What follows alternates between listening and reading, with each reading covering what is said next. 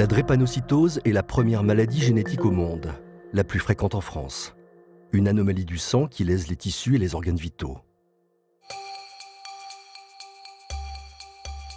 Saint-Ouen, en région parisienne.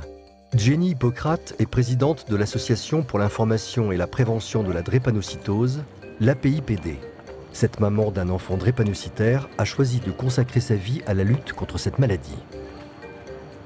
Ben, depuis 25 ans, effectivement, je combats la drépanocytose parce que mon fils est atteint de la forme la plus grave de cette maladie, il a 25 ans. Donc depuis l'annonce diagnostique, j'ai fait euh, de ce combat ma vie. Jenny vit avec son fils Taylor, jeune entrepreneur. Depuis sa naissance, Taylor a frôlé la mort à plusieurs reprises, mais sa mère n'a jamais cessé de le soutenir. Jenny a partagé l'histoire de son combat pour sauver son fils à travers ses livres.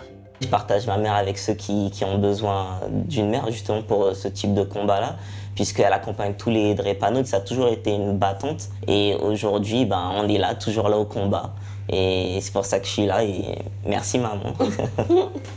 Son engagement depuis 25 ans lui a valu de nombreuses distinctions, dont la Légion d'honneur, ainsi que l'Ordre national du mérite.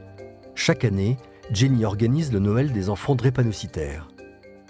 Le Noël des enfants drépanocytaires euh, me tient beaucoup à cœur. Pourquoi? Parce que c'est une fête qui réunit des enfants malades et des enfants non malades. Donc il n'y a pas de différence. Les enfants, ils jouent entre eux, on les maquille, ils prennent leur goûter ensemble, les cadeaux ensemble. C'est extraordinaire. Et puis c'est vrai que tout le temps, ces enfants-là sont hospitalisés. Donc leur offrir un cadeau, un beau goûter, un spectacle, pour moi, c'est quelque chose de fondamental. Alors les enfants, je vais vous dire quelque chose, encore une fois, de très très fort. Si vous saviez comment je vous aime, je vous aime.